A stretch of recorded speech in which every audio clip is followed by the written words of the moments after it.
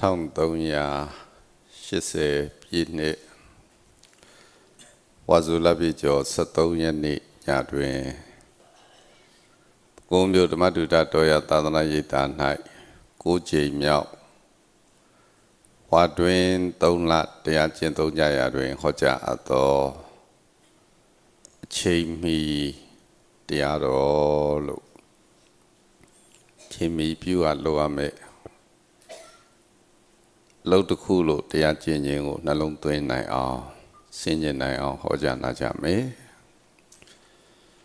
တရားတော်ကိုမောမီမနာမီမှာတရားတော်ကိုဟောကြားတော်မူခဲ့တဲ့ဘုရားရှင်ကိုရှေးဥစွာနမောတတ္တဘုရားရှိခိုးနဲ့ရှိခိုးကြော့ကြရအောင်နမောတတ္တဘဂဝတောအရဟတော သမ္မာသမ္ဗုဒ္ဓသာနမောတသဘဂဝတောအရဟတောသမ္မာသမ္ဗုဒ္ဓသာနမောတသဘဂဝတောအရဟတောသမ္မာသမ္ဗုဒ္ဓသာအရဟတော လူမင်းနတ်မင်းမြမာမင်းတို့ဤဝစင်ကိုယောပူဇော်ထုကိုခန္တော်မူတိုက်ပါဝိထသောအရဟတောတထောင်ငါရာကိလေသာမှ ဝေကွာတော်မူတတ်ပါပြီထသောအရဟတောစိတ်ွယ်ရာ၌ပင်မကောင်းမှုကိုပြုတော်မမူပြောတော်မမူကြံစီတော်မမူတတ်ပါပြီထသော ရဟတောကိလေသာမံသပုံယံကိုအောင်တော်မူနိုင်တော်မူတတ်ပါဘိထသောအရဟတောတန္တရာစေကံကွတ်တုကိုပေဖြက်ခုတ်ထွင် သုတ်သင်တော်မူတတ်ပါဘိထသောသမ္မာသမ္ဗုဒ္ဓတ္တမဖောက်မပြန်တရားမှန်ကိုဆရာမကူတရားဘုညံဖြင့်ထိုးတွင်၍ တည်မြင်တော်မူတတ်ပါပြီထသောတတဘဂဝတောဣတရိယဓမ္မာယတ္တတိရိကာမပယတ္တမြီဘုံ6လီနှင့် ပြည့်စုံတော်မူသောထိုမြတ်စွာဘုရားအားနမောနမမိရှိခိုးပါဤရှင်ဘုရားနမောနမမိကိုနှုတ်နှလုံးသုံးပါးပြောင်းပြော့ မန်ကိုလျော့၍ကရော့ယူချူလက်ဆုံမိုးက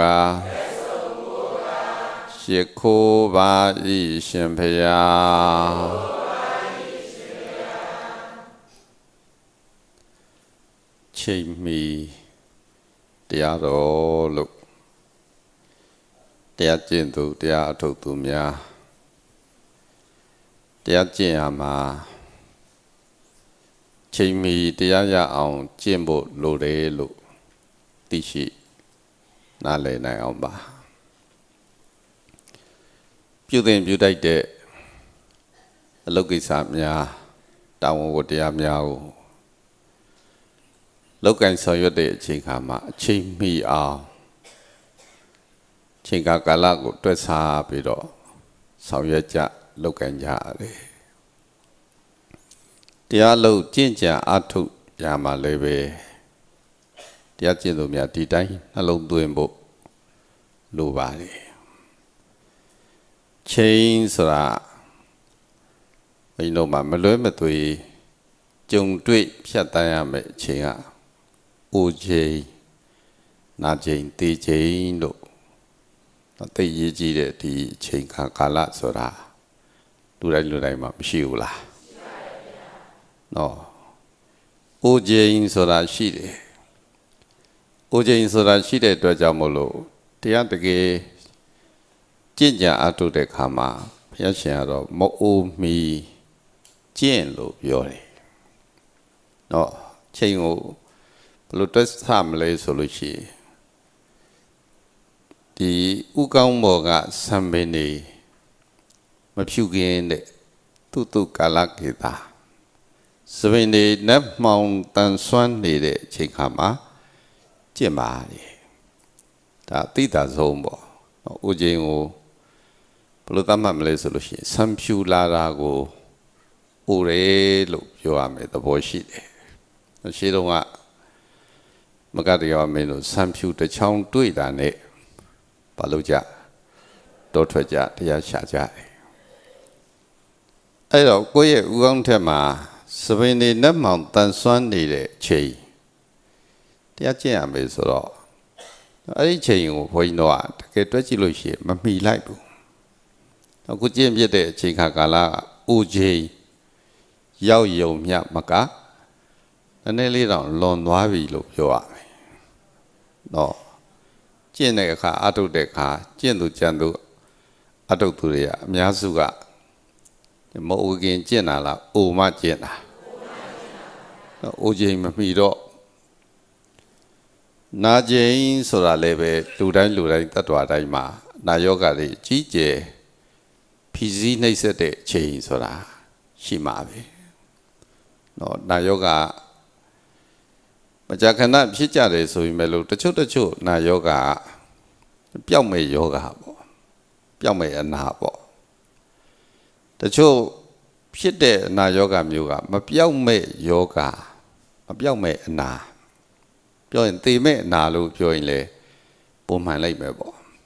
ဒီအနာမျိုးဒီယောဂမျိုးလေးရှိနေတော့နာကြိမ်မရောက်မီတရားကျင့်ရမယ်ပေချိတ်ကျင့်နာကြိမ်မရောက်မီတရားကျင့်ဆိုတော့ဒါတော့ချိန်မီသေးတယ်လို့တွေ့ရင်ရတယ်ပေါ့ကျင့်နိုင်အထုတ်နိုင် သွားနိုင်လာနိုင်နှလုံးသွင်းနိုင်တဲ့ခြေနေရှိနေသေးလို့ရှိရင်ယောဂီတွေချိန်မမီဘူးလားဒီချိန်တော့မီသေးတယ်နောက်တစ်ခုကလူတိုင်းလူတိုင်းသတ္တဝါတိုင်းမှာမလွဲမသွေကြုံတွေ့ရမယ်အချိန်ခါကာလတခုတည်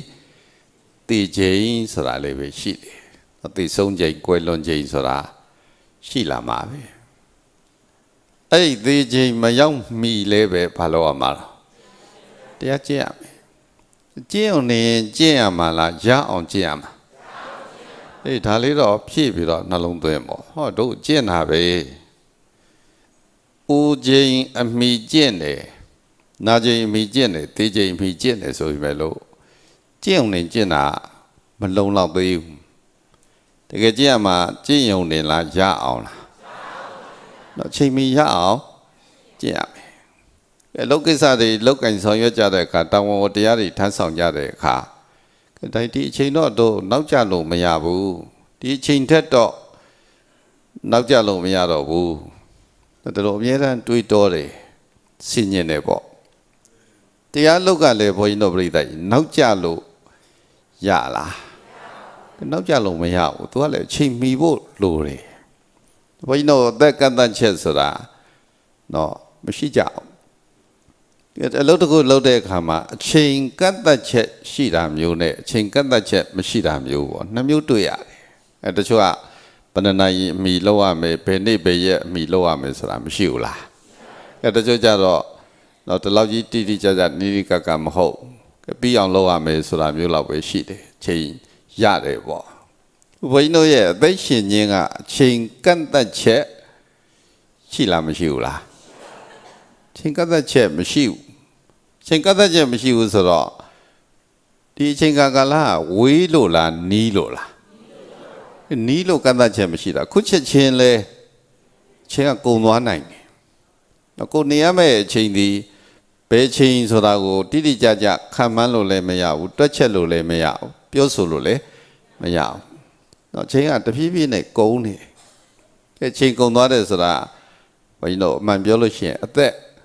ကုံသွားတာပဲ။အချိန်ကုံနေဆိုတာဘာကုံသွားနေရမယ့်အချိန်ကုံတယ်ဆိုတာနေရမယ့်သက်တမ်းယော့သွားတာပဲအချိန်ကကုန်းနေကျင့်လဲကုံတာပဲမကျင့်လဲကုံတာပဲကြိုးစားလဲကုံသွားတာပဲမကြိုးစားလဲကုံသွားတာပုံမှန်24နာရီတရက်နော်ရက်30တလ365ရက်တစ်နှစ်ဆိုပြီးတော့တစ်နှစ်ပြီးတစ်နှစ်အချိန်ခါကာလတွေကုံလွန်သွားတယ်ဒီအချိန်ခါကာလတွေကုံလွန်သွားတဲ့အခါ စဉ်းစားမှတို့အချိန်မီလောက်ရမယ်ဘယ်ချိန်လို့တွက်ထားမလဲပေါ့ဘယ်ချိန်ကိုမိအောင်တို့အထောက်ရမလဲစူးစမ်းရမလဲပေါ့နော်10နှစ်လား9နှစ်လား1နှစ်လားတလလားတရက်လားပေါ့နော်ကိုယ့်အချိန်ကိုကိုမှန်းမှာတရားရအောင်ကျင့်တယ်စူးစမ်းပါတယ်ဆိုတဲ့အခါချိန်မီအောင်ကျင့်ကြတဲ့အခါ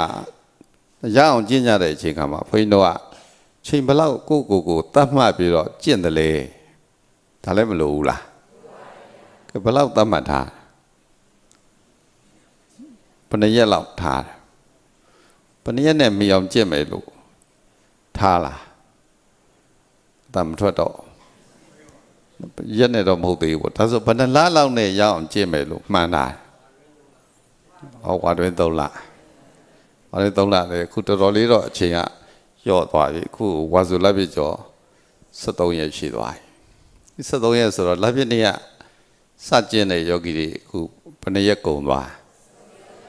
73ရက်ကုန်သွားရက်ပေါင်း90နော်3လဆိုတာအများကြီးမဟုတ်ဘူးရက်ပေါင်းဘယ်လောက်73ရက်ရော့သွားပြီဆိုတော့ဘယ်လောက်ကျန်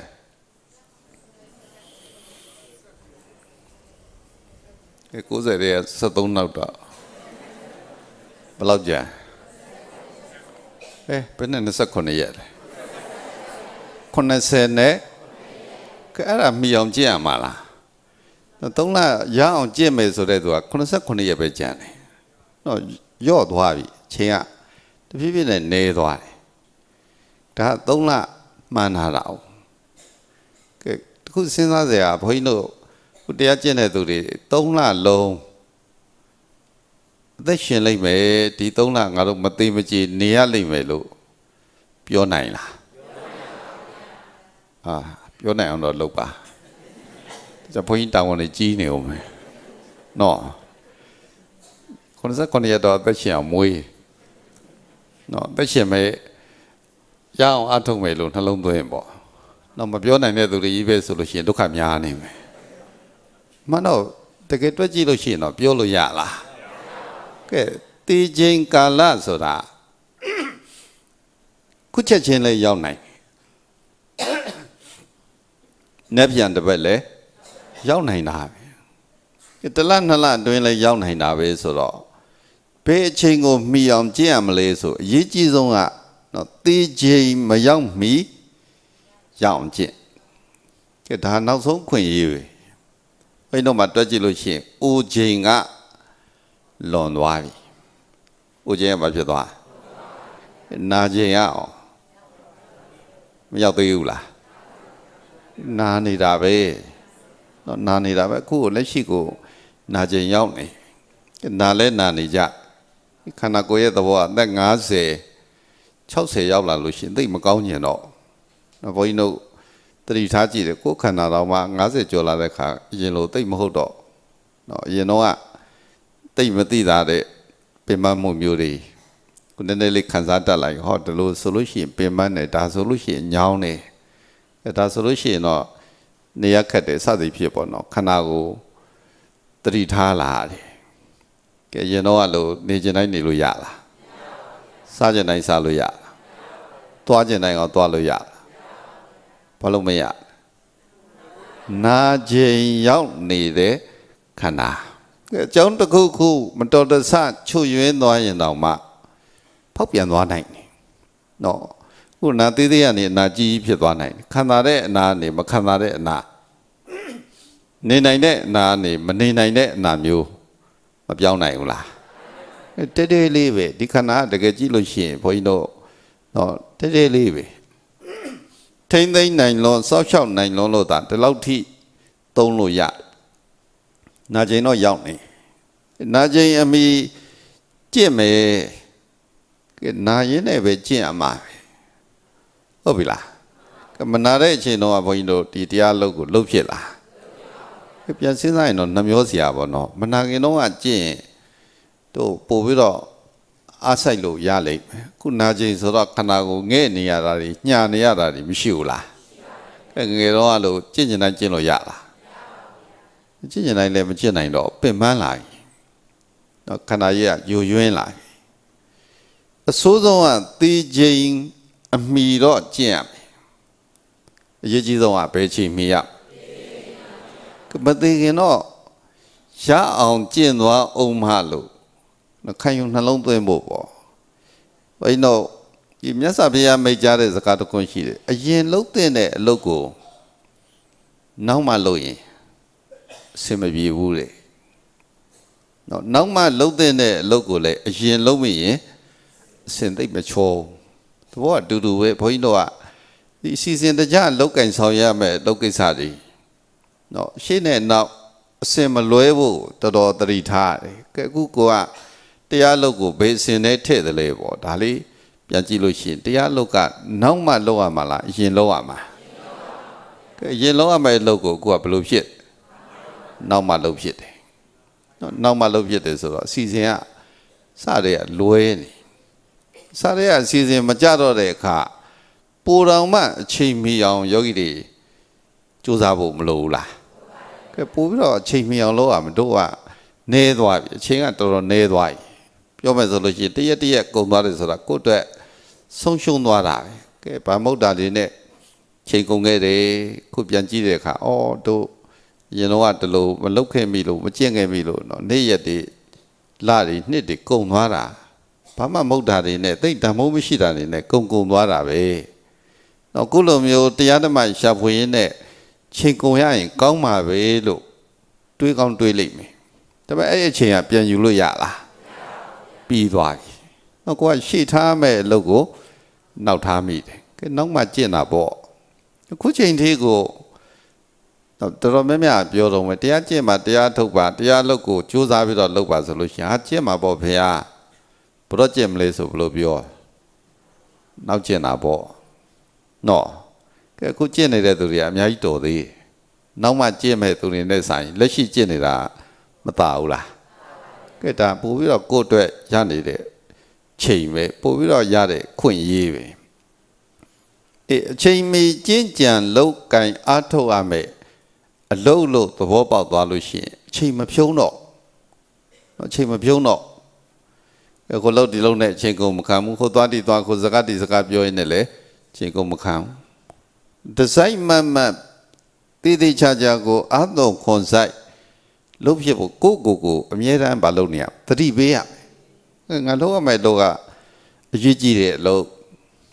နော်အရေးကြီးတဲ့အလုပ်ကန့်သက်ချက်ရှိတဲ့အချိန် ပြောရင်ကန့်သက်ချက်ရှိတယ်နော်ကဲကဲဘလို့ကန့်သက်ထားလဲဆိုလို့ရှိရင်မသိခင်လုပ်ရမယ်လို့ဘလို့လုပ်ရမှာကဲမသိခင်လုပ်ရမယ်ဆိုတော့ကန့်သက်ကရှိတယ်ဒီကန့်သက်ဒီလေတွက်ဆမှန်းဆလို့မရတဲ့အကန့်အသတ်မျိုးနော်ကဲဘယ်နှစ်တော့နောက်9နှစ်တော့နောက်10နှစ်တော့စီမံကိန်းတွေနဲ့သွားလို့ရတဲ့ကိစ္စမျိုးမဟုတ်တေချာစဉ်းစားကြည့်လို့ရှိရင်ကိုအချိန်မီလောက်ရမယ်ဆိုတာ နော်အလွန်တိုတောင်းတဲ့ကာလအတွင်းမှာလုံနိုင်လေကောင်းလေပဲဒီကောင်းတာဘယ်တော့ခုရရင်ပုံမကောင်းလားခုချက်ချင်းရရင်ပိုကောင်းဆုံးပဲနောက်မှကြည့်ရမှာလားခုကြည့်ရမှာနောင်မှရမှာလားခုရအေးအဲ့လိုရှေးလုံးရမယ်အလုပ်ကိုနောင်မလုပ်မိရင်နောင်တရတယ်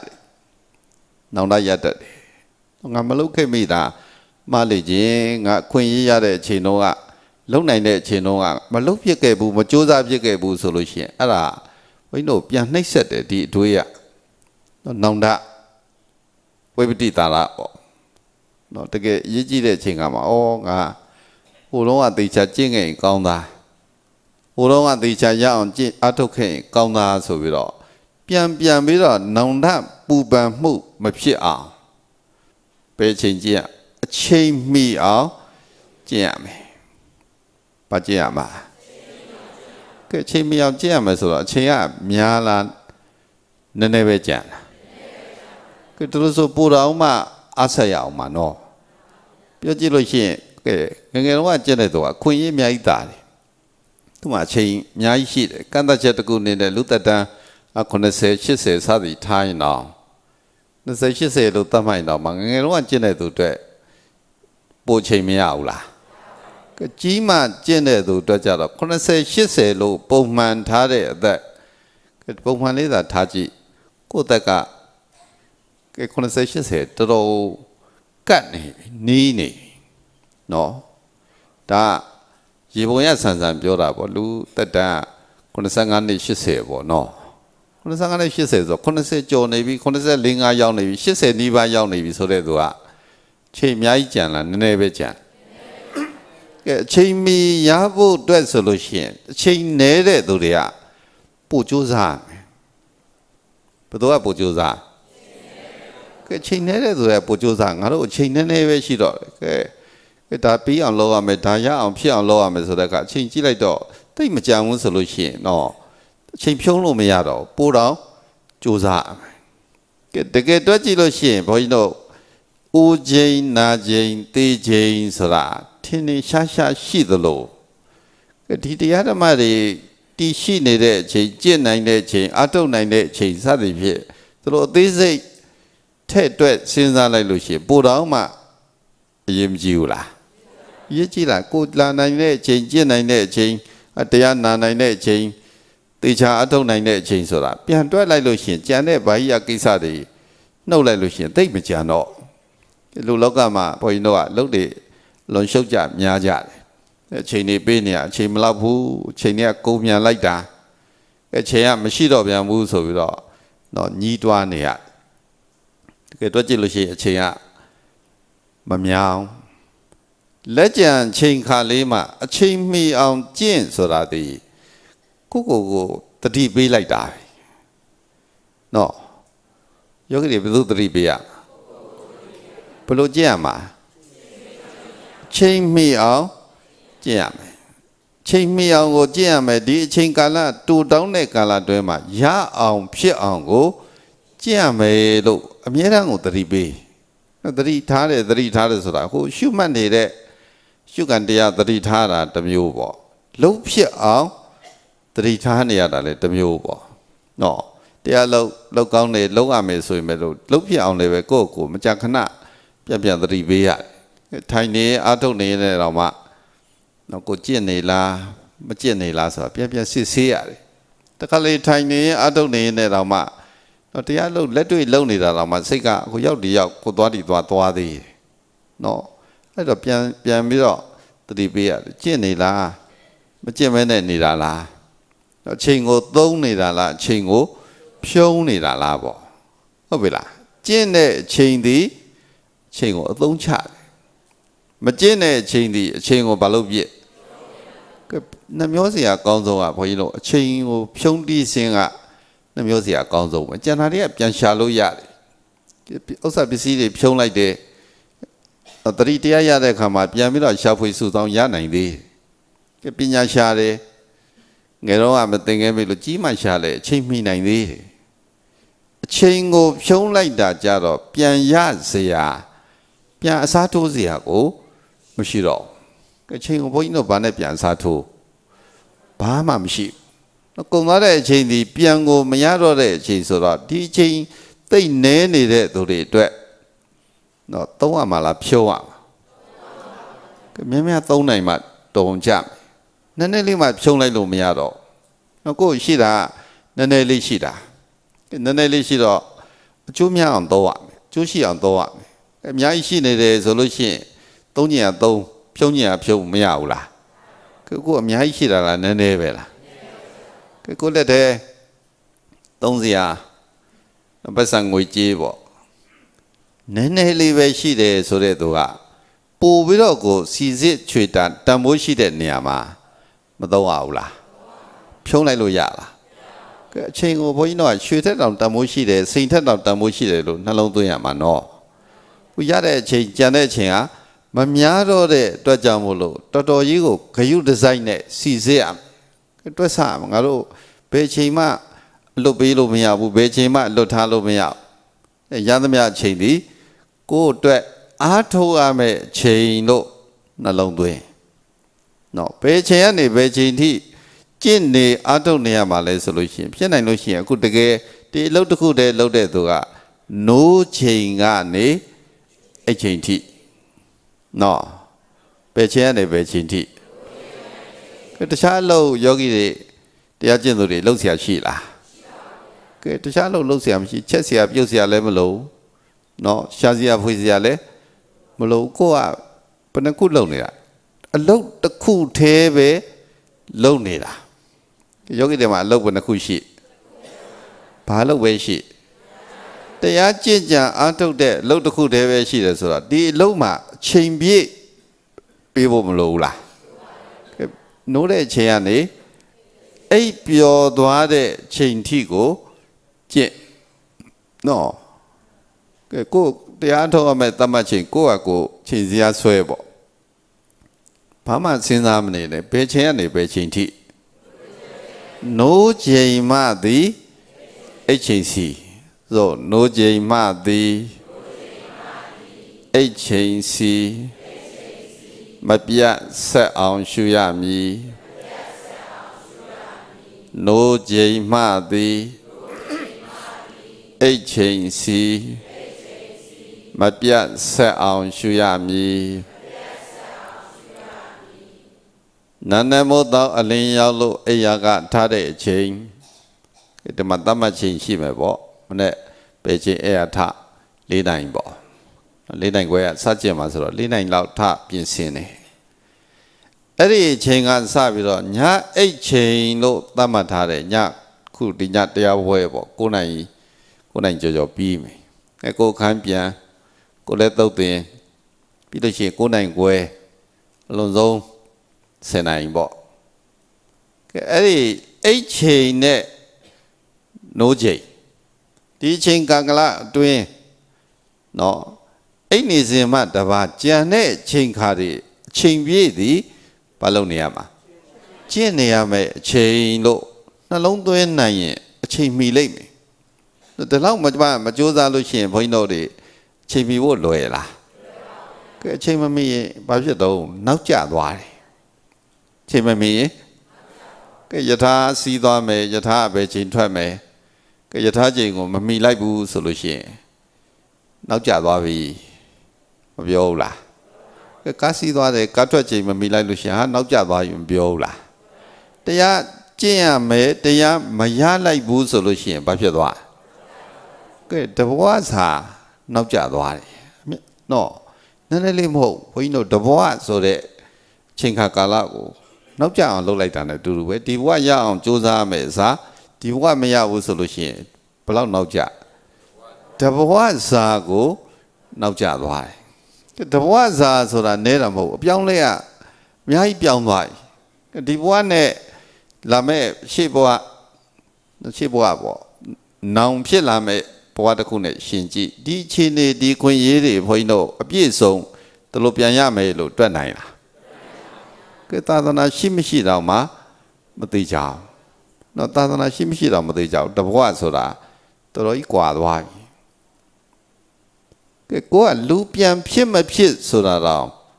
သိကြလားကဲဒါဝဲအဓိကထားတော့ပေါ့ဘုန်းကြီးတို့တရားကျင့်တယ်ဆိုတာလူသားတယောက်ရဲ့သိဉာဏ်နဲ့မှာရနိုင်တဲ့တရားတခြားတခြားဘဝတွေရောက်သွားပြီငရဲတရိစ္ဆာန်ပိဋ္ဌာဘဝမျိုးရောက်လို့ရှိရင်ဖြစ်နိုင်သေးလားမဖြစ်နိုင်တော့เนาะအခုချိန်က ပယ်လောက်တန်မိုးရှိတယ်ဆိုတာလေးတွက်ကြည့်ပေါ့နော်တဘွားအစာနောက်ကျသွားတယ်ဆိုတာတုံတန်နောက်ကျတာမဟုတ်တိတ်ရေးကြည့်တဲ့အချိန်ခါကာလလက်လို့ဆုံးရှုံးသွားတာနဲ့အတူတူပဲကဲဘယ်ဘဝရောက်မယ်မသိဘူးဘာသွားဖြစ်မယ်လို့မသိဘူးဘယ်နေရာမှာသွားဖြစ်မယ်လို့သိလားကဲဘာမှကိုမရေရတဲ့ခြေနေတစ်ခုစီကိုမသွားဘူးလားမသိကြတော့ မသိကြတော့ကဲခုဒီချိန်ဒီဘဝဘာပြောပြောပေါ့လူသားဖြစ်နေသေးတယ်တရားဓမ္မတွေရှိနေသေးတယ်ကျင့်ဖို့အထုတ်ဖို့ဘုန်းကြီးတို့ဘာပြောပြောအချိန်ရသေးတယ်တော့ခုမကျင့်တဲ့သူတွေလည်းပြန်လာကျင့်တယ်ဆိုအချိန်မီသေးတယ်ဒီတဘဝဆိုတဲ့ချိန်ခါကာလကိုလက်လွတ်ဆုံးရှုံးလိုက်လို့ရှိရင် ပြန်စားထိုးစရာကိုမလွယ်တော့တော်တော်ခင်းရင်သွားပြီတော်တော်ခင်းရင်သွားပြီသာသနာနဲ့ကြုံမှလူဖြစ်မှ အဲတရားဓမ္မတွေလည်းနာမှစသည်ဖြင့်တို့ချင်းနေအကြောင်းကြောင်းနဲ့နှိုင်းရှင်ကြည့်လိုက်လို့ရှိရင်ဘုန်းကြီးတို့ကပေါ့ကိုမပေါ့ရတော့အာဒီချိန်ကတို့အပြတ်အသက်ကိုအားထုတ်ရမယ်အချိန်တကယ်ကိုကျင့်ရမယ်အချိန်အချိန်မီအောင်လုပ်ရမယ်တရားကဲလေးနဲ့ထားပြီးတော့စဉ်းစားကြည့်လိုက်လို့ရှိရင်နော်ပေါ့ရော့ပြီးတော့မနေရဘူးမနေရဘူးတကယ်အချိန်တမိုးနားလည်ရင်တကယ်တွက်ဆတတ်လို့ရှိရင်ယောဂီတွေ နော်ဖြုံးစရာအချိန်ရှိသေးလားအချိန်ပြည့်ဘာပဲလုပ်တရားပဲလုပ်တော့ကျန်တာတွေကအဲကိုတသက်တာကာလကြည့်လို့ရှိရင်ကျန်တာတွေကဒီလောက်ကြီးမလို့တော့စားစရာဝတ်စရာသုံးစရာပျော်စရာလဲစရာတော်တော်စုံလင်ခဲ့ပြီတော်တော်နေခဲ့ပြီလွန်ခဲ့တဲ့နှစ်50 60 90စသည်ဖြစ်သူတို့နေခဲ့တဲ့အချိန်ကကာလသည်တကယ်တွက်ကြည့်လိုက်လို့ရှိရင်ကိုအတွက် ဖြုံးခဲ့တဲ့အချိန်ကမများဘူးလားကဖြုံးခဲ့တဲ့အချိန်ကများတော့ချိန်မီအောင်ဆိုလို့ရှိရင်ဒီအချိန်မှာအာသွန်ခွန်ဆိုင်ကျင့်ရတော့ဘယ်ချိန်နားလိုက်အောင်မယ်ဘယ်ချိန်ရတော့ဖြစ်ပင်ပန်းလို့ဘယ်ချိန်ရတော့စားပြီးကစားဘယ်ချိန်ရတော့ဖြစ်အိမ်ငိုက်နေလို့ဘယ်ချိန်ရတော့ဖြစ်ဘာဖြစ်လို့ဆိုပြီးတော့ထားလို့ရလားထားလို့မရတော့ဘူးချိန်ပြည့်အထောက်အမဲ့ချိန်လို့သတ်မှတ်သွားဖို့ပဲရှိတယ် နော်ကြံတဲ့လက်ကြံအချိန်ခါကာလဘယ်နှစ်ကြံမလဲကြံတဲ့အချိန်ခါကာလတည်ကိုယ့်အတွက်အချိန်မီအောင်အထောက်အမဲ့အချိန်ပဲဒါတော့ကဘုန်းကြီးတို့ရဖို့မရဖို့ဆိုတာသိကြပေါ့မပြောနိုင်သေးဘူးပြောနိုင်လားကဲအခု3လလို့ခုနပြောတယ်ဘယ်လောက်ရအောင်ဘယ်လောက်ကြာကြာရအောင်ကျင့်မလဲဆိုတော့ယောဂီတွေက3လတယ်ဒီ3လနဲ့ရမယ်မရဘူးပြောနိုင်လား ပြောနိုင်ခြင်းမှပြောနိုင်မှာနော်ကဲ3လအပြည့်ကျင့်တယ်ဆိုရင်တော့မှတကယ်ရမရဆိုတာရှိသေးတယ်ကဲတစ်နှစ်လုံးနှစ်လုံးပေါက်ကျင့်တာတော့မှ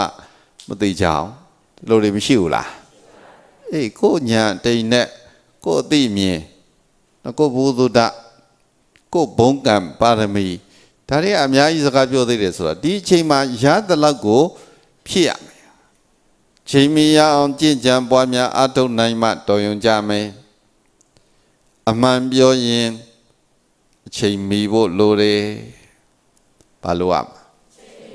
လဲကတခြားဘာမှမစင်စားနဲ့ဘာဖြစ်ဖို့ပဲလိုတော့ချိန်လေးမှီလိုက်ဖို့ပဲလိုတယ်နော်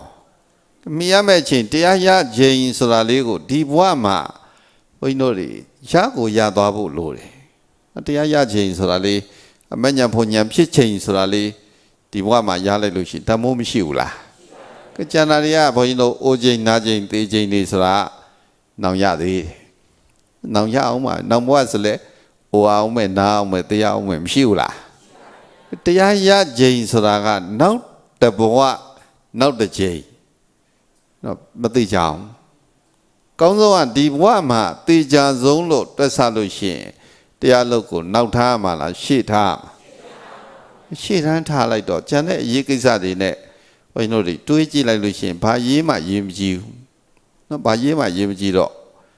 မဉ္ဇဉ်ဘုံညာနိဗ္ဗာန်ရဖို့ရည်သည်တရားကျင့်သူရဲ့အရေးပါဘာရေးမှကိုရေးမကြည့်ဘူးဆိုတော့တာရသမီးရောအရေးကြီးလားစီးပွားရေးကအရေးကြီးသေးလားဒါတွေဘာမှမလိုတော့လုံလောက်နေကိုအတွက်ဒီလောက်ခွင့်ရရရင်ပြည့်စုံနေကြင်ကြံအာထုတ်ဖို့အရေးသည် ကိုအရေးဒီဘဝမှာဒီမဉ္ဇဉ်ဘုံညာနိဗ္ဗာန်ကိုရဖို့အရေးသည်ကိုအရေးပါကဲဒါတကယ်ကိုမဖြစ်မနေလောက်ကိုလောက်ရမယ်အလုပ်လို့ခံယူရင်လက်ရှိချိန်ခါသည်အကောင်းဆုံးချိန်လို့မြင်လိုက်ပါလက်ရှိချိန်သည်ကဲကောင်းနေသေးတယ်နော်ယောဂီတွေယောဂီတွေကျမ်းမာရေးရောမကောင်းလားကောင်းနေသေးတာပဲ သွားနိုင်လာနိုင်လုံနိုင်ကိုင်းနိုင်နော်ကိုလည်းကိုချစ်တာကိုတဲနိုင်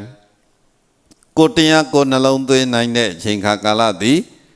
ကောင်းနေတဲ့အချိန်ကဲအားထုတ်မယ်ဆိုလို့ရှိရင်လည်းလုံနိုင်နေသေးတယ်တရားကျင့်တရားထုတ်ရတာဘုန်းကြီးတို့တတ်တော့တက်တာအေးစီစီလေးကျင့်ရတာပြီမှန်ပြောလို့ရှိရင်တော့မြတ်စွာဘုရားမိတ်ကြားတဲ့နေထိုင်ပုံသဏ္ဍာန်နော်နှလုံးသွင်းမှုဒီ လောက်ကြီးကြမ်းတမ်းခက်ခဲပင်ပန်းတဲ့အလုပ်မျိုးမဟုတ်နေပူမရှောင်မွေးရမရှောင်မိုးရဲရေတဲ့လုံနေရတဲ့အလုပ်မျိုးလည်းမဟုတ်နာနာနေနေတက်တက်တာတာလျောင်းထန်ရသွားဣရိယာပုတ်၄ပါးမျှတအောင်နေပြီးတော့ကဲရိတ်ထဲမှာနေမပူမိုးမဆိုးမကျင့်အောင်လားကဲဒီလောက်ဆိုလို့ရှိရင်ကိုယ့်အတွက်လုံလောက်တဲ့ခြေနေလုံလောက်တဲ့ခွင့်ရေးရှိပြီပေါ့ နော်ဒါကိုယ့်ဘက်ကရနေတဲ့ခွင့်ရေးကိုလည်းကိုမြင်ရဆုံးရှုံးသွားတဲ့ခွင့်ရေးကောင်းတွေကိုလည်းမြင်တတ်။အော်တို့ဟိုတော့ကသာကျင့်တော့တို့ငငယ်တော့ကသာညံကောင်းကောင်းနဲ့ကြမ်းကြမ်းမာမာနဲ့ကျင့်ရလောက်ပြီလို့တခါတလေကြားလို့ရှိရင်မတွေးမိဘူးလား။ကဲအခုဆုံးရှုံးသွားတယ်ပေါ့ဒီခွင့်ရေးတွေက။တော့ငယ်ရွယ်စဉ်နုပြိုစဉ်တန်ဆွမ်းစဉ်ဖြတ်လက်စဉ် အဲ့ဒီအချိန်ကကာလတုန်းကမလွတ်ခဲ့ပြီအဲ့ဒီအချိန်ကိုလွန်ခဲ့တယ်မပြုတ်ခဲ့မလုတ်ခဲ့တာတွေပြန်မစင်းစားနဲ့တော့တို့ကတော့ကျင့်ရမှာပဲဆိုတာမတွေးနဲ့ဘလို့တွေးရမှာတော့ခုကျင့်ရင်ရမှာပဲမရဘူးလားကဘယ်ချိန်အကောင်းဆုံးလက်ရှိချိန်ဒီကောင်းဆုံးချိန်ဒီလက်ရှိချိန်က ခန္ဓာယုံနံပေါ်လာသမျှသိတံထင်ရှားတဲ့သဘောတရားတွေပေါ်လာတိုင်းပေါ်လာတိုင်းမှာတတိကဉာဏ်နဲ့ရှုမြင်တတ်တာသည်အကောင်းဆုံးခွင့်ရေးပါနော်ကဲတိတ်အကြောင်းကိုလည်းပြန်မတွေးနဲ့တဲ့အနာဂတ်ကိုလည်းသွားမစင်စားနဲ့တဲ့လက်ရှိပစ္စုပန်မှာမှန်မှန်အားထုတ်မှန်မှန်ရှုလို့ ဘုရားမြတ်စွာမိတ်ကြားခဲ့တာရှိတယ်။လုံခဲ့ပြီးတဲ့အကြောင်းအရာဖြစ်ခဲ့ပြီးတဲ့အကြောင်းအရာပြီးသွားတာတွေလှုပ်ဖြစ်တာတွေမလှုပ်ဖြစ်တာတွေနော်ဘာလှုပ်ခဲ့တာညာလှုပ်ခဲ့တာတွေဘုန်းကြီးတို့ပြန်တွေးเสียလို့လား။မတွက်နဲ့တော့ဒါတွေကထားလိုက်တော့ပြီးသွားပြီ။နော်။ကဲတို့နောင်ကိုလုံနိုင်ပါမလား။အကျမ်းမကြီးကအခုလိုကောင်းမတော့မလား။အာနာကျင်တရားတွေကတို့နှိမ့်ဆက်တော့မလား။ တေဘေးရပဲနီးနေပြီလားတို့အချိန်မှရှိသေးလားလို့တွေးပူစရာတိတ်မလို့ပါဘူးနော်ဟိုကရတဲ့အချိန်မှာဒီလုတ်ကိုစောင့်ချနဲ့မြုပ်ပြီးတော့လှုပ်ဖို့ဆိုလို့ရှိရင်ပစ္စုပန်အချိန်ကကောင်းဆုံးပဲလက်ရှိချိန်ကဘာတော့ကောင်းဆုံးပဲတေချောင်းကိုလည်းမတွေးနဲ့နာဂတ်ကိုလည်းမတွေးနဲ့လက်ရှိပစ္စုပန်ဖြစ်ပေါ်နေတဲ့ဖြစ်စေနံယုတ်တရားတွေကိုသာမှန်မှန် ရှုပွားပါဆိုဖြစ်စေယုံနံပစ္စုပန်မမန်ရှုပွားပါဖြစ်စေယုံနံပစ္စုပန်မမန်ရှုပွားပါလက်ရှိချင်းခါဖြစ်ပေါ်ထင်ရှားနေတဲ့ယုံနံဓမ္မယုတ်တရားနံတရားတွေကအခု ညာနဲ့ကြည့်လိုက်ရင်ကိုအခုမထင်ရှားဘူးလားထင်ရှားတယ်ကိုယ်မှထင်ရှားတဲ့သဘောတရားသည်ရုပ်တရားစိတ်မှထင်ရှားနံတရားသတိပြုပြီးတော့ညံကတ်လိုက်တာနဲ့အတိလေးကတ်လိုက်တာနဲ့ကိုတိတာထင်ရှားနေတဲ့ပစ္စုပန်ချိန်ကကာလမှာတိတာမြင်တာထွေထိနေတဲ့နာယုတ်တရားတွေမှန်မှန်ရှုနေခြင်းသည်ချိန်ကိုအကျိုးရှိရှိ သုံးချနေတာမှန်မှန်လေးရှုနေတာကိုကအချိန်သုံးချနေတာပဲမှန်မှန်မရှုပြစ်ဘူးဆိုလို့ရှိရင်အချိန်ကပြုံးတီးသွားတယ်လေလွင့်သွားတယ်နော်ဒီချိန်မှာနည်းနည်းလေးမှဘုန်းကြီးတို့ကတော့ပြုံးတီးမခံနိုင်တော့ရတဲ့အချိန်ကကြံတဲ့အချိန်ကနည်းသွားပြီမဖြစ်မနေလဲအသုံးခွန်ဆိုင်လောက်ရတော့မယ်ဒီဘဝမှာမိအောင်ကိုကြည့်ရတော့မယ်ဆိုတဲ့အခါမှာလေလွင့်ဆုံးရှုံးခံနိုင်သေးလား ခေချိန်မဖြုံးနဲ့တော့လီလွတ်မခံနဲ့တော့ဘာအကြောင်းနဲ့မှတရားကျင့်မှာနော်တောက်ရှက်မဖြစ်စေနဲ့တော့ပုံမှန်ရအောင်သာတို့ကျင့်သွားမယ်ဒီဇိုင်းမှမှကျင့်သွားပြီဒီချိန်လေးမိဖို့ရည်ကြီးဒီတက်မကအိုးခြင်းလဲအိုလာလိမ့်မယ်ဒီတက်မကနာခြင်းလဲနာလိမ့်မယ်နိကစွာသောသိခြင်းတရားသည်ရှိခြင်းလဲရှိနေလိမ့်မယ်ခဲဘာဖြစ်လာဖြစ်လာဒါတွေဘုန်းကြီးတို့တွေးနေစရာလိုသေးလား တွေးနေရမှာလားကြင့်နေရကဲသူကကြောက်ပြီးတော့အရှင်ဘုရားတပည့်တော်တို့ရမရပါတော့မလားဖေဟာတခုကြင့်နေတာအချိန်မှမိပါမလားဆိုပြီးတော့တချို့ကလည်းစိတ်ပူတယ်နော်ချိန်မှမိပါမလားဆိုတာဘု து ပေါ်မူတည်တာကဲကိုခဏလို့စိတ်ပူပြီးတော့လိုက်တွေးနေရင်လည်းအချိန်သုံးတာလားဖြုံးတာနော်ကိုစဉ်းစားဒီစဉ်းစားလုံနေရင်လည်းအချိန်သုံးတာလားဖြုံးတာဒီစနစ်တကျ အချိန်လေးလွဲ့မခံတော့ဘူးဆိုလို့ရှိရင်အချိန်ပြည့်လျောင်းထိုင်ရသွားဣရိယာပုတ်၄ပါးမှာမပြတ်မလားတရားရှာထိုင်ချိန်မှာလဲဒီဇိုင်းမမကြည့်ဈဉ္ဉံသွားချိန်မှလည်းမယမနာကျင့်ကြံပွားများအတုံနေပါထိုင်နေချိန်လျှောက်နေချိန်ရပ်နေချိန်နော်ဣရိယာပုတ်၄ပါးလုံးမှာကိုဘာလုပ်နေရမှန်မှန် ရှုနေရမယ်ဖြစ်စေယုံနာတွေကိုဘာလုပ်နေရမှာကဲထိုင်နေခြင်းမှာလည်းပဲဘုန်းကြီးတို့ဘာလုပ်နေတော့ယုံနာတရားတွေရှုနေတာဖြစ်ပေါ်နေတဲ့ယုံနာတရားတွေထင်ရှားနေတဲ့ယုံနာတရားတွေကြည့်ရှုနေသလိုပဲဈဉ္ဉံသွားတဲ့အချိန်ကလည်းဘာလုပ်နေရမှာဖြစ်စေယုံနာတွေကိုရှုကြည့်အားထုတ်နေရမှာရပ်နေချိန်မှာလည်းရှုကြည့်အားထုတ်နေရမယ်လျှောင်းနေချိန်မှာလည်းနှလုံးသွင်းကြင့်ကြံနေရမယ် နော်အချိန်မီဖို့နော်အချိန်မီအောင်ကြင့်မယ်ဆိုတဲ့အသိလေးကိုတော့အမြဲတမ်းလှုပ်နှိုးပြီးတော့တတိပေးယောဂီတွေဘယ်လိုကြင့်ရမှာအချိန်မီအောင်ကျင့်ရမှာဒီတစ်ချိန်မှလွဲသွားလို့ရှိရင်နောက်တစ်ခါခွင့်ရေးမလွယ်ဘူးဆိုတာလေတွေးတာပေါ့တော့ဒီအချိန်မှပြောရလို့ရှိရင်ဘုန်းကြီးတို့ဘုရားသာသနာရှိချိန်နဲ့မရှိချိန်နဲ့က ကမ္ဘာလောကပေါ်မှာဘုရားသာသနာမရှိတဲ့ချိန်ကပုံမများဘူးလားတော့ဒီကမ္ဘာမှာဘုရားငါးစုပွင့်တယ်လို့သိကြတယ်ဒါဗဒ္ဒကမ္ဘာအကောင်းဆုံးအမြတ်ဆုံးကဘာမှာတော့ဘုရားဘယ်နှစုပဲပွင့်ဘုရားတဆူတဆူပွင့်တဲ့အချိန်ကာလဘလောက်မှကိုမကြာလိုက်ဟိုမြမကြီးတွေတက်တန်းရှည်တဲ့မြမကြီးတွေကညီးတွားတယ်ဟာဘုရားပွင့်တာလေခုလေးတင်ပွင့် ခုပဲတရားခေါ်နော်ခုပဲပြိဋိဘံဆံမြန်လိုက်လားလို့သူတို့ကတွေးတယ်နော်သူတို့ရဲ့တက်တန်းသူတို့ရဲ့ချိန်နဲ့ဆိုလို့ရှိရင်ဘုရားရှင်ဘုန်းကြီးတို့အခု45နှစ်45ဝါဆိုတာဘလောက်မှကိုမကြလိုက်နော်ခုပဲပွင့်တယ်ခုပဲတရားခေါ်တယ်ခုပဲပြိဋိဘံဆံသွားပြီဘာမှတော့အချိန်မရှိလိုက်ပါလားလို့သူတို့ကတွက်မယ်ပေါ့နော်ကဲအဲ့ဒါတကယ်လည်းပဲဘုန်းကြီးတို့ပြိဿမမှန်ဘူးလား သာသနာရှိတဲ့ချိန်ကကဘာပေါ်မှာအလွန်တိုတောင်းတယ်အလွန်နဲတယ်သာသနာကွယ်ပြောင်းနေတဲ့ချိန်ကဘာမြေပြင်မှာလူလောကမှာသာသနာမရှိချိန်သာရှည်ကြတယ်သာသနာမရှိတဲ့ချိန်ကအကြာကြီးသာသနာရှိတဲ့ချိန်ကခဏလေးတဘောကဘုရားတဆူပွင့်တော်မူဖို့ကြိုးစားကြင့်ကြံရတဲ့အချိန်ခါကာလနဲ့ပဲတွက်ကြည့်ပေါ့ မြတ်စွာဘုရားတဆူတဆူဖြစ်ဖို့ပါရမီဖြည့်တယ်ပါရမီဖြည့်ရတဲ့အချိန်ခါကာလနဲ့ဘုရားရှင်အဖြစ်နဲ့ဝိနည်းတ္တဝါတွေကိုဆူဆုံးမဟောပြောတရားဟောနိုင်တဲ့အချိန်ခါကာလရှင်ကြည့်လိုက်နော်ဘုရားပြည့်နေနေတဲ့အချိန်ကများလားနည်းလားကပါရမီဖြည့်ရတဲ့အချိန်ဟာများတယ်ပါရမီဖြည့်ရတာကြာကြီးဘုရားပြည့်နေဟောပြောဆုံးမနိုင်တာခဏလေးပဲခ ဏလေးပဲเนาะဒီကဘာကြီးကဘုန်းတော်အမြဲတမ်းတွက်ချက်စဉ်းစားကြတယ်အာကဘာကြီးကနှစ်သန်းပေါင်းများစွာတည်တယ်ပေါ့ကဘာလောကကြီးကတုံနဲ့ပျက်စီးသွားတာမျိုးမဟုတ်ကဲလူတွေနေလို့မရခင်ဒီကဘာမြေပြင်ကနော် နှစ်တမ်းပေါင်းများစွာတည်ခဲ့တယ်လို့လူသားတွေနေထိုင်အသက်ရှင်ဖို့အစဉ်သင့်ဖြစ်အောင်လဲနှစ်ပေါင်းများစွာကြာတယ်ကဲဒီလူသားမျိုးနွယ်မျိုးဆက်တွေကလည်းတစ်ဆက်ပြီးတစ်ဆက်တစ်ဆက်ပြီးတစ်ဆက် ကဘာပေါ်မှာပေါက်ဖွားပြီးတော့နေကြတယ်ကဘာကြီးတက်တန်းကဲတမ်းပေါင်းများစွာနှစ်တမ်းပေါင်းများစွာဆိုတော့ဒီနှစ်တမ်းပေါင်းများစွာမှာမှဖခင်ဘယ်နှစုပဲပွင့်ဒီဗတ္တကဘာမှာ၅စုပဲတခါတရကျရင်တစ်စုလေးပွင့်တဲ့ကဘာမျိုးလေးရှိတယ်တခါတရမှာ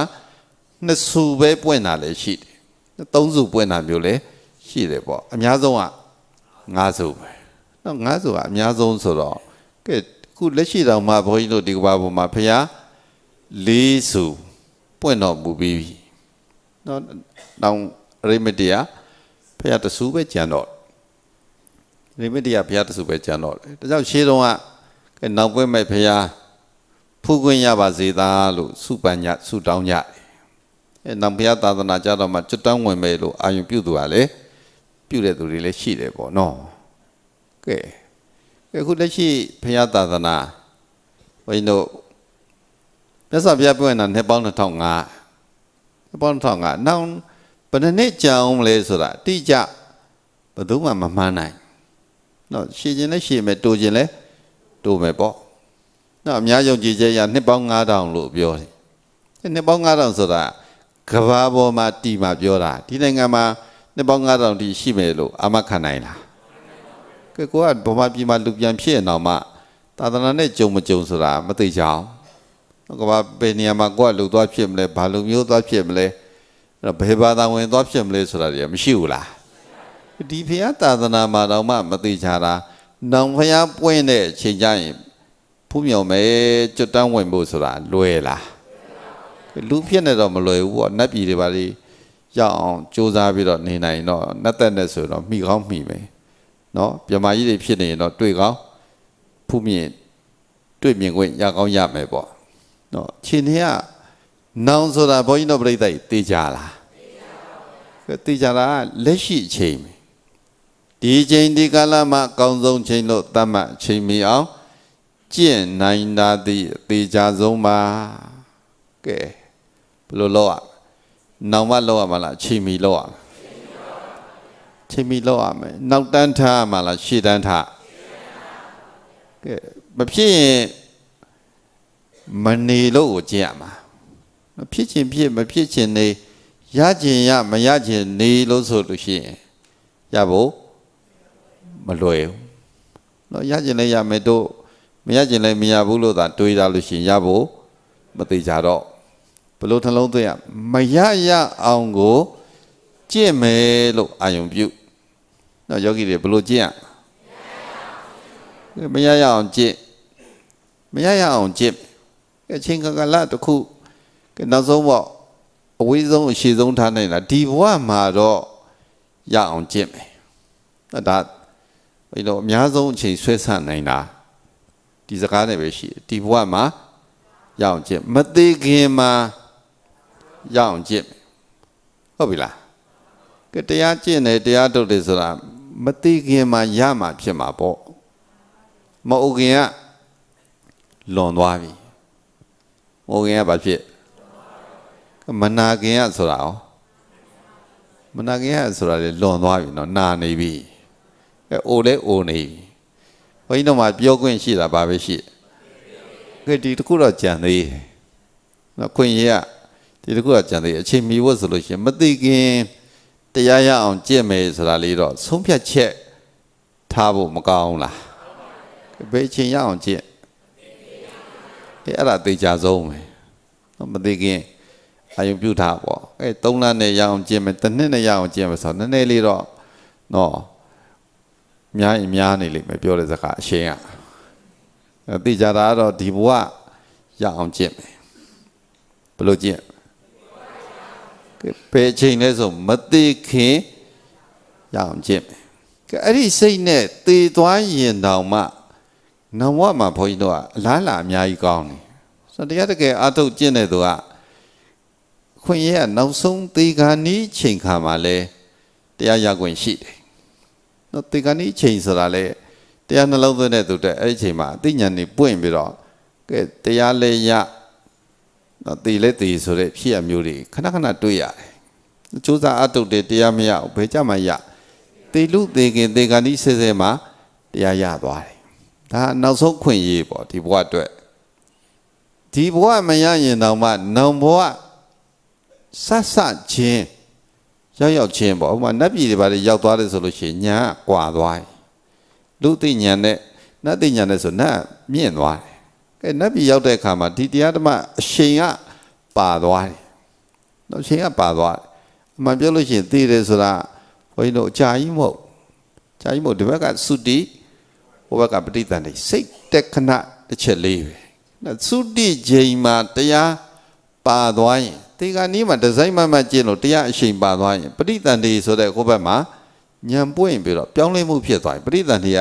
ဘဝချားသွားပြီပြောင်းသွားပြီဒီဘက်ကခန္ဓာနဲ့လည်းတူခြင်းမတူမယ်ညံနဲ့လည်းတူခြင်းမတူမယ်အဲ့လိုကွာဟသွားတဲ့အတွက်ကြောင့်မလို့နောင်ဘဝဆက်ဆခြင်းမှာလည်းရနိုင်တယ်နော်နောင်ဘဝခြေနေဆိုတာတော့ထားလိုက်ပေါ့ ဘုန်းကြီးတို့အတွက်ဒီဘဝမှာနော်မျောလင့်နိုင်တဲ့ခြေနေကမတိခင်မှာရအောင်ရှာပဲချင်းရှာကဲမတိခင်ရအောင်ရှာဆိုတာတေကနီးမှရှာမှာလားတေကဝေးတုံးရှာအဲအဲ့ဒါတော့တတ်တာပေါ့နော်မတိခင်မှရအောင်ရှာဆိုတို့ကျမ်းမာသေးတာတုံနဲ့သေးဦးမှမဟုတ်ဘူးဆိုတို့ထပ်ပြီးတော့ရှော့ရင်ရှော့နေအောင်ဟုတ်လားနီးမှရှာမှာလားဝေးစဉ်ရှာမှာ အေးဒီဖို့ဝေးတဲ့အချိန်မှာရှာသိကြတာနော်ကဲမဟုတ်ခင်ရှာမနာခင်ရှာမသိခင်ရှာဆိုတာဒီဖို့ဝေးနေသေးပို့အချိန်မရဘူးလားခုယောဂီကနီးလားဝေးလားဟောခုကနီးတော့နီးနေပြီဆိုတော့ပိုးတော့အချိန်နေသွားပြီနော်အချိန်ကပူပူပြီးတော့တွက်လေလေနဲလေလေတနေ့တနေ့ကဲစားတောက်တဲ့အချိန်ရေမိုးချိုးတဲ့အချိန်အစကားပြောတဲ့အချိန် ဟိုချိန်ဒီချိန်နေမကျင့်ပြဘူးဆိုလို့ရှိရင်ဒီချိန်နေသာပြန်လျှော့ပြန်နှုတ်လိုက်ရင်တော်တော်ယော့သွားမယ်ကဲနှုတ်မခံနဲ့တော့နှုတ်မခံနဲ့တော့မလျှော့နဲ့တော့နော်ဘယ်ချိန်ဘယ်ချိန်ဒီကျင့်နိုးချိန်ကနေအဲ့ချိန်ထိကိုကျင့်ကဲတော်လို့ဆိုလို့ရှိရင်အဲ့ချိန်ကအဲ့ချိန်ဒီကျင့်ဆိုတော့အဲ့အဲ့နေရတာပဲဆိုအကြာကြီးတော့မအိတ်နေနဲ့ပေါ့နော်နော်အဲ့ချိန်ဒီ အဲ့ချိန်မှာကြည့်မရဘူးဆိုတော့တနေ့10နိုင်12နိုင်လောက်အိတ်မယ်ဆိုပြီးလုံမနေနဲ့ဟုတ်ဟုတ်ပြီလားဒီအနာယူတဲ့အနေနဲ့သိပ်ပင်ပန်းလွန်းလို့ဒီတရားကျင့်ရင်နဲ့အိပ်ပျော်သွားတဲ့သဘောမျိုးကကောင်းတယ်အဲ့ကနေလဲကျင့်ကျင့်ရင်နဲ့အိပ်ပျော်သွားမယ်ကဲနိုးလာတဲ့အခါမှာတရားအာယုံနဲ့လန်းလန်းဆန်းဆန်းကြည်ကြည်လင်လင်နိုးတယ်နော်အိပ်နေတဲ့အချိန်လေး